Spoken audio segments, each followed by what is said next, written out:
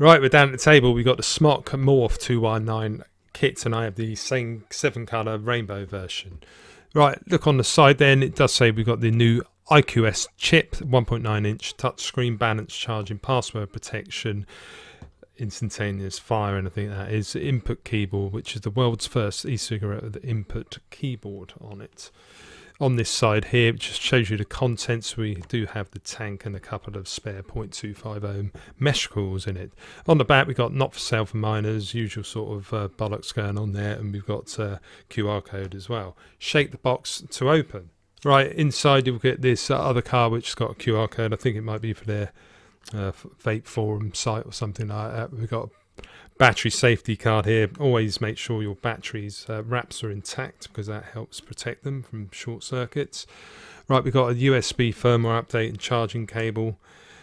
Get a little baggie here with a couple of gaskets and O-rings in. A spare two milliliter glass tank. You get this spare sleeve for going over your tank to protect it. There is the spare coil. Have a quick look at that. Uh, so there's a 0.250 mesh. I think it's uh, rated between 30 and 70, something like that, or 30 and 80, best between. I can never read these. Uh, I just recommend just going up, starting off low and going up until you get the sweet spot. But when you first get this, you want to prime up the cotton, make sure it's saturated with e-liquid. Look inside there. There you see we've got sort of medium bore on this, sort of in between mouth to lung and a uh, proper wide bore. So it's like a restrictive uh, direct to lung you're getting on there. Make sure you prime up all that cotton, let it sit for a bit, fill your tank up and uh, let it sit for a few minutes before you take your burst vape. Right, here it is then. Here's the tank. We'll go onto the tank first. It does come pre-installed with this uh, uh, bubble glass on it. Uh, believe it holds 6 mil in this version. I will confirm that on the screen if I am wrong. It comes with an 8, uh, 510 fitting drip tip. I actually quite like this snazzy little drip tip on here. Uh, it's not too wide and not too thin, so it's ideal for this type of tank. Couple of O-rings on it, no O-rings inside there, and there's your bore. Right, so we've got top fit on this usual Smok situation a little bit stiff as ever because you always find you have to sort of push down at the same time to open it and it is very stiff at first. Flip it open fill your juice down this port here not down there because that is where your airflow go. And if you just look here when you try and do it if you just go back it never seems to catch so you have to sort of push it down and then push it over. And that's an inherent issue with Smok tanks I have found Quick look at the bottom then we got designed by Smok, uh, a couple of markings, floating gold plated 510 pin, PEEK insulator surrounding it. So I wouldn't advise using this on a mechanical device, for sure a hybrid mechanical device, because that pin is not protruding and it's not uh, adjustable. Right, we do have adjustable airflow though, so we've got stoppers on both sides uh, and just tighten up a little bit more. So you can open it up and it'll be the same on both sides. And there it is in fully open position. So we have got a little bit of knurling all around these bits and up top here. We've got the seven colour rainbow going on. So it's pretty funky. I'm not a fan of this fat boy glass here, but you can take that one off if you want and use it in two mil mode, which is what I was doing. There's a quick look inside the base. So the coil you want to take that out. I have used this one for a good two or three weeks. Uh, did wash it out a little bit, but there you can just see it's a little bit gunked up. Taking the glass piece off then. Yeah, so just push down on the centerpiece and put it off. You've got lovely fat O-rings that help make the seal. Good idea to just lube up these O-rings so it goes on a little bit easier. If you want to put your coil in, you just literally just plug it though, and then you can do the tank back up. Right, and there we got it in uh, straight glass mode, which uh, I think you would agree looks uh, a damn sight better. Unfortunately, I've got the rainbow version, so it's a little bit uh, wild. This one we have got like a resin panel. You can't remove it. So we've got um, a bit of that going on. Let's just put the tank on. Well, actually, we'll just look around the mod and then put the tank on. I've got four screws around the edges there. I believe they're star-shaped ones There's your 510 pin, which uh, I do believe is spring loaded. Yep, you can just see a nice strong spring on this one as well. Got a, a button on there, that's a, a, function button. We've also got the fire button here, nice clicky fire button like a, a lot of these Smok mods. Smok logo there. Here's the massive screen. You've got the 1.9 inch screen. So yeah, no rough edges, anything like that. Uh, bit alien-esque, uh, the uh, design on this particular one. And there's a quick look on the bottom, and obviously to open up, you just pull that back like that. Clearly marked in white, the polarities are, which is always good. There's your contacts there. And yeah, you can even see we've got the positive and minus there too, which is awesome. So you know what way around to put your batteries. So we've got couple of uh, Sony VTC6s. These are the Torchy the Battery Boy wrap ones. So put those on there. Push it forward again and then you're on. So I believe it's five clicks to turn. This is one on. There you go, Smok's logo. You can change the pattern actually around the edge. Morph, there's a version number. And there is the screen. So you've got a lovely screen on this one, but it does uh, drain the battery as you'd imagine. We're just going to put the tank on actually. And there you go. You press the fire button. We've got new calls. So you've got yes or no. So we better put yes because this is new atomizer and it shows you the resistance range. So let's have a talk about this screen then. So at the moment we've got it unlocked, which shows there. There's the um, other part of the menu there. So we'll click that in a minute. It's touch screen, of course. We got uh, your wattage there. We got it in normal mode. There's your resistance. There's your voltage, uh, puff counter, uh, amperage, and independent battery markers there. And it says my mode on that particular one. If you want to lock it quick, you, that turns off the screen by just pressing it short. And then you turn it back on, it's already locked, so you can't uh, adjust any parameters, but I do believe you can still fire it. But if you hold this button here for a couple of seconds, it unlocks it, and then you can go into the main menu, which is up here. So you've got mode. So you press mode, you've got wattage there. Is this going to focus? We've got watts, temperature titanium there, stainless steel, and you can like, adjust the parameters on yeah, each one wattage, you can adjust the wattage in temperature as well. And if you're in wattage mode, you've got normal, normal sort of the preheats, hard, soft, and normal, which I use it in normal. And you can adjust the wattage here if you want, or you can just go back to the main menu and do it there. But you have got these modes, you can click through these different modes here, and uh, you can um, put your preheats and you can basically set up like memories for it. So let's go into one. You can put my flavor. This is where the keyboard comes into it. So you can start typing in. How do you do it? You can go through. It's like the old phone type thing, I think. I haven't really used this thing, but it's there if you want to have a look. But it's a load of uh, bollocks, in my opinion. But you can use it if you want. You can also put your nicotine and then save it as a profile to use. We have got a puff counter there, and you've also got uh, some more settings. We've got general. We've got about there. It just tells you what version number and stuff we've got there. I think.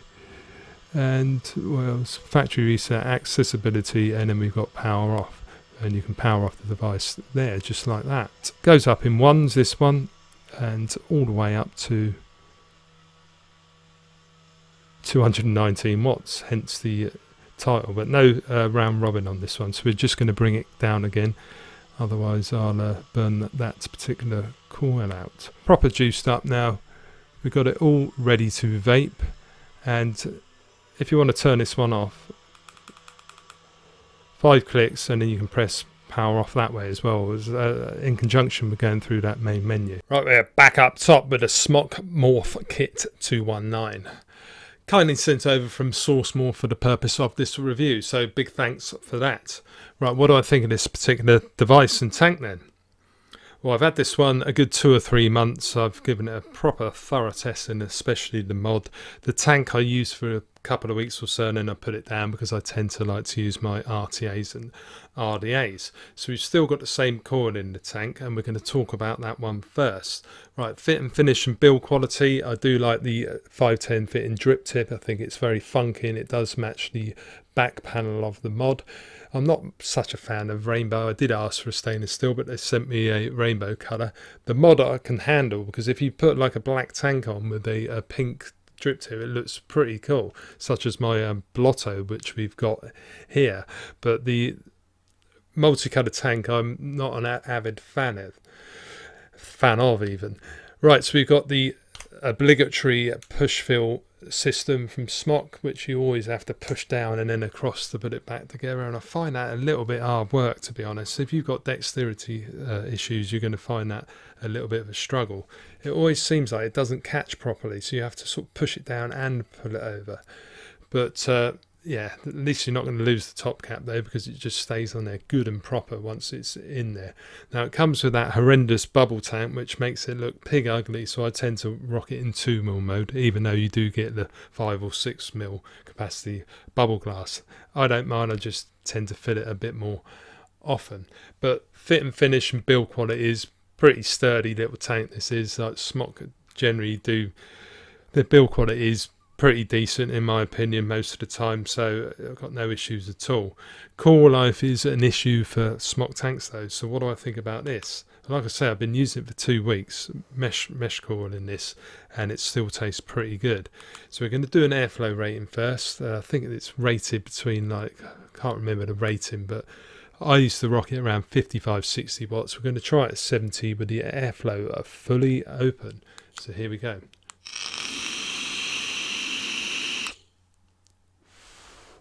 Right, airflow rating 10 being a super airy vape and 1 being a super tight. What do I think?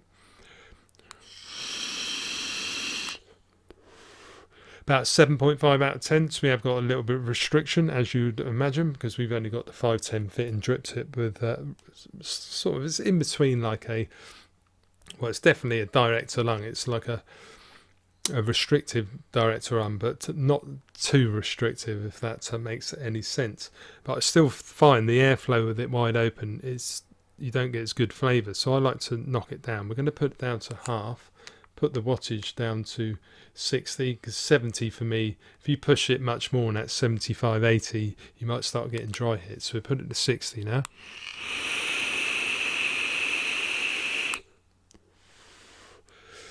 Really good. So that's at halfway. Uh, so a little bit of turbulence there, as you'd expect. But it is pretty smooth, though, saying that. It's just very loud, as you can hear. You can knock it down further if you want.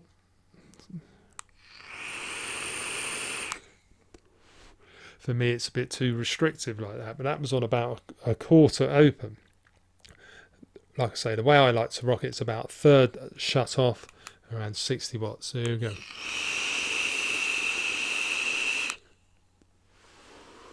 And it is a decent tank, guys. There's no getting around it. It is a very good tank on this one, and the flavour is pretty good. I would give it a good 8 to 8.5 out of 10. So as far as sub-ohm tanks go, this one gets a thumbs up from me. I think it's a really good sub-ohm tank you know where you are with sub-ohm tanks. You just vape them and you can take them out the house. You don't need to really worry as long as you it's not too old to core. You take it out and you know that it's going to perform, and this is no exception. Yeah, very good tank. I just prefer vaping my RTAs and RDAs though. So let's get on to the mod.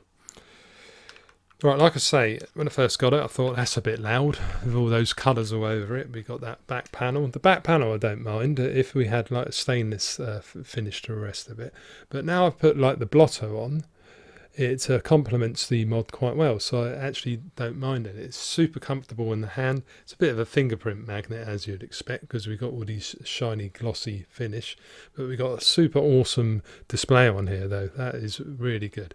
And you can turn it off by just touching the screen, uh, the button just like that. So you can do your stealthy vapes, which also uh, saves your battery power. Right, so the mod then, we've got the usual style, uh, grip style button that Smok tend to like to use. I've got my Smok GX350 somewhere. It's not here at the moment, but that one's still going strong after a couple of years or so. So I've got no problems with that. I did review the Smok Species uh, sometime last year, I believe, and my wife still uses that. So that one's over a year old, and she loves the the mod. And this one similar, it's a different shape. This is more rectangular, much like the original Alien, I do believe. I never owned one of those though. But uh, yeah, I like the button. You can do it like that. It's ten. It's better to use it like that grip it rather than thumb fire feels a little bit peculiar in my opinion. So you end up just doing it like this, squeezing it. If you're doing it left-handed, of course, you can't see the screen. So uh, I tend to use it in right-hand mode all of the time with this particular one. Right, I like the um, the menu system on here. Hold down the button, unlock it, and then you can go through all the different modes like I showed you down below. So I think the menu system is actually quite user friendly with this one, so no problems at all. And it auto locks. I think you can take it off so it doesn't do that, but I think that's a good thing because then you're not going to inadvertently touch things and change the settings. But if you do want to just put the wattage up, just hold down that button on the side for a little bit and then you can go up and down as you wish and you've got a nice big display on this so you, you, you are going to be able to see this outside because it's super bright and it's uh, really good. But it does affect the battery life I found with this one. It won't last me all day and night with this one. It's still not bad the battery but it's not as good as some of my other dual 18650 devices. But all in all it does hit pretty well. Though we're just going to do the blotto. Let's put it up to what should we put up? Put it up to 100 watts.